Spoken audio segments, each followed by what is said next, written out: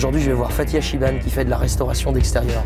Elle habite à Villeneuve-la-Garenne, en Ile-de-France. Je m'appelle Chiban Fatia, j'ai 30 ans. Mon projet, euh, c'était d'ouvrir un restaurant en plein air, sucré-salé. Je suis Géraldine Pinget, je travaille à l'ADI depuis 6 ans depuis 2010 et je suis maintenant en charge du programme Créa Jeune sur les Hauts-de-Seine. J'étais euh, déjà un peu lancée, je faisais euh, pas mal d'événements, surtout euh, pendant la saison d'été. C'est vrai qu'en hiver, je rencontrais un problème de saisonnalité.